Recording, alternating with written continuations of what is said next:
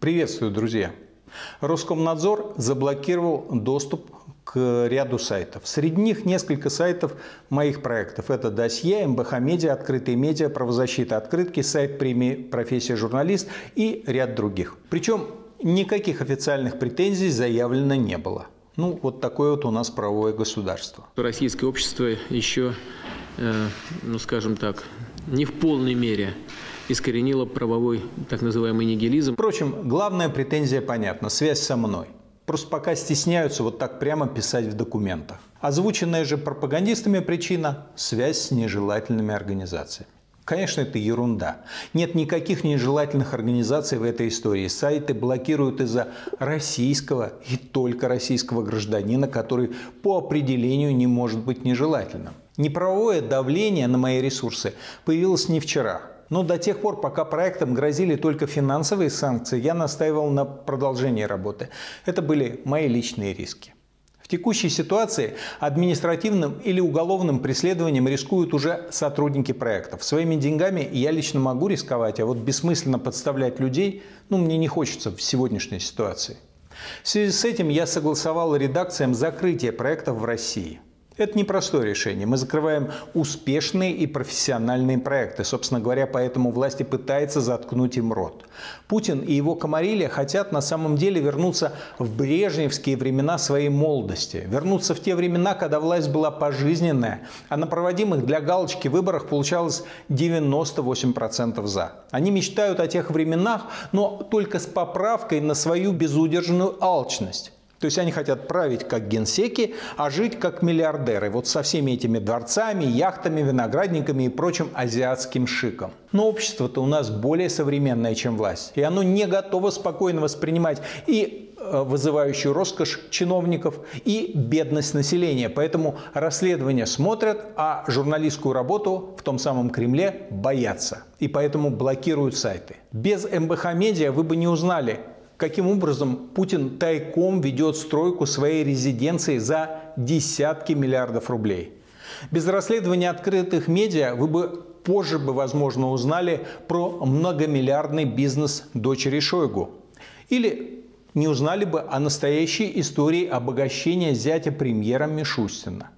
А в расследовании проекта «Досье», чей сайт тоже заблокирован, в том числе рассказывается о том, как целое подразделение Федеральной службы безопасности превратилось в личный ЧОП Сечина. Кстати, как раз я думаю, что вот от этого самого жадного и некомпетентного члена путинской шайки история с блокировками и прилетела. Я много говорю про Сечина. И даже не потому, что он стоял за разграблением ЮКОСа. Просто это один из самых вредных для страны представителей путинского клана. Алчный и жадный до роскоши злопамятный до безумия и совершенно некомпетентный в том, чем поставлен управлять. А тут вот прямо совпадение какое-то. Наезд начался сразу после того, как Сечин лично пообщался с Путиным в мужском монастыре. Блокировка была сделана руками и по распоряжению Генеральной прокуратуры, которую возглавляет назначенец Сечина генерал Краснов. Тот самый Краснов, который возглавлял и следственную группу по убийству Бориса Немцова и который пошел на повышение, свернув расследование. Тот самый Краснов, которого курирует еще один порученец Сечина, генерал ФСБ Ткачев.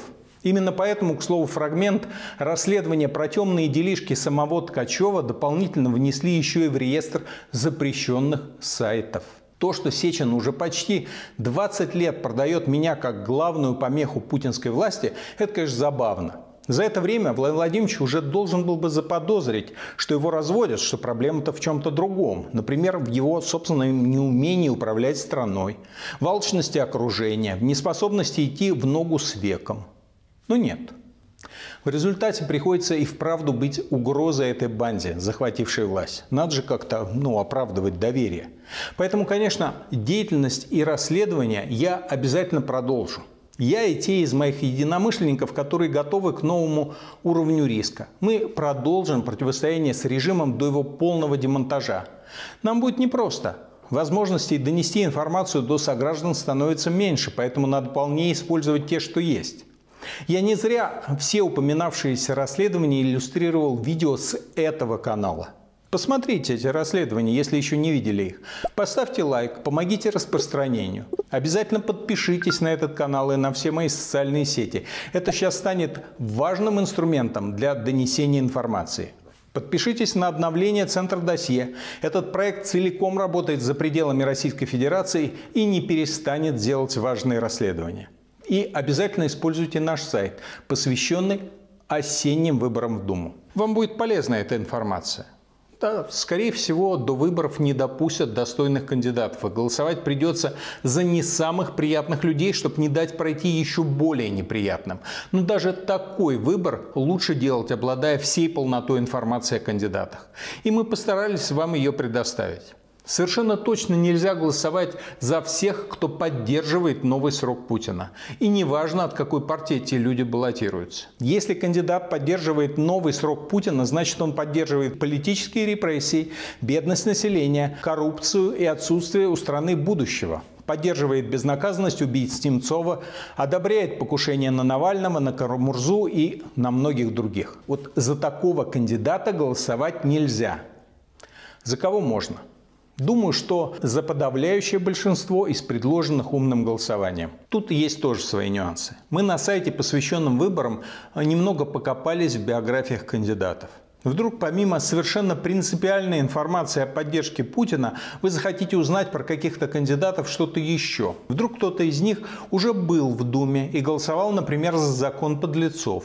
Или выступал за повышение пенсионного возраста. Или был инициатором закона о нежелательности. Думаю, вам это будет не лишне знать. В общем, жизнь становится жестче, но не заканчивается. Закрытие части проектов не является прекращением борьбы, но означает, что свои новые проекты я буду запускать так, чтобы режиму было сложнее с ними бороться. Это значит, что еще больше усилий мной и моими коллегами будет направляться на международную делегитимацию этой власти, чтобы Путин не мог делать вид, что он нормальный лидер демократической страны, а западные лидеры не могли делать вид, что они ему верят. Чтобы путинское окружение, придворные бизнесмены, их прислуга, их семьи не могли пользоваться украденными деньгами в нормальных странах, а были вынуждены хранить эти деньги под матрацами, строить дома в виде буквы «ЖО» и просыпаться в холодном поту, понимая, что раньше или позже они всего лишатся. Счастливого!